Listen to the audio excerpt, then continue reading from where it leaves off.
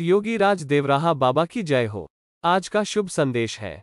भगवान कहते हैं कि जो मनुष्य मुझमें अनन्य चित होकर सदा ही निरंतर मुझ पुरुषोत्तम को स्मरण करता है, उस नित्य निरंतर मुझमें युक्त हुए योगी के लिए मैं सुलभ हूँ, अर्थात उसे सहज ही प्राप्त हो जाता हूँ। इसी को संन्यास योग, आदि नामों से कहा गया है।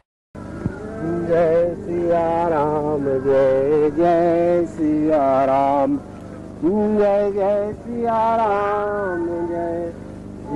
सिया राम जय सिया राम जय जय सिया राम जय जय सिया राम जय सिया राम जय सिया राम जय जय सिया राम जय जय सिया राम